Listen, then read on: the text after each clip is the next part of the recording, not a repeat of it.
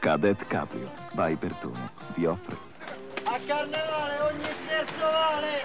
Noi per carnevale siamo stati invitati ad una festa molto esclusiva. E fu subito Halloween, la notte delle streghe. Quest'anno mi potrei travestire da edicola. Non voglio vestirmi da Wurstel. Ah, non sono mica più un bambino. Carnevale intelligente. Io sai che ti dico? Che ho nostalgia dei Puccio e dei suoi scherzi idioti da prete, eh? Come non detto. I ragazzi della terza C. Martedì alle 20.30 su Italia 1.